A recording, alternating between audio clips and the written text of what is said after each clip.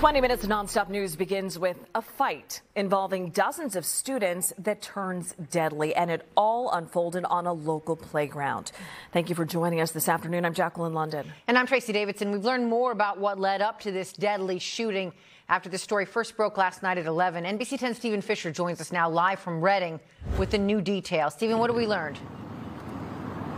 Yeah, well, Tracy, police tell us about 15 to 30 kids arrived here at the playground, all between the ages of 16 and 18 years old for the purpose of a fight. They say one thing led to another. Shots were fired. Four people were wounded, including an 18 year old boy who was killed. Police say teenagers turned this Reading playground into a crime scene Monday night. There were individuals, we believe all within the age range of 16 to 18, um, who came to the playground here from multiple municipalities uh, to engage in a fight. Um, and then uh, gunshots uh, started to be fired uh, by multiple individuals, we believe, in the park. Four people were hit by the hail of gunfire, including 18 year old Amir Bibbs, who was killed. Then I saw the cops coming in. When I saw the cops, I was, oh, something happened back there. It never happens back here. It's a nice, quiet neighborhood.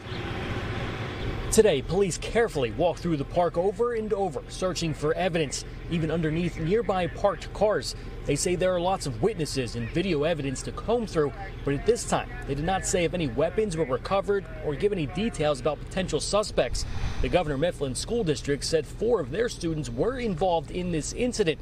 They moved to virtual learning for all middle and high school students out of abundance of caution. We should not live like this.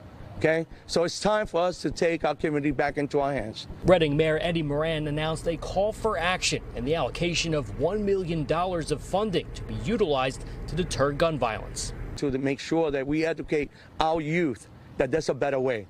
So I am going to ask each and every one of my community members, leaders, faith-based organization, so let's sit down, let's talk, let's see what kind of pledge you can commit to to battle this gun violence. And the three other victims who were injured in this shooting, they were taken to the hospital. Police telling telling us today they are all expected to be okay. Also, there's a couple homes right around here. One of them was hit by gunfire. Fortunately, nobody inside there was injured. We're live in Reading. Steven Fisher, NBC 10 News.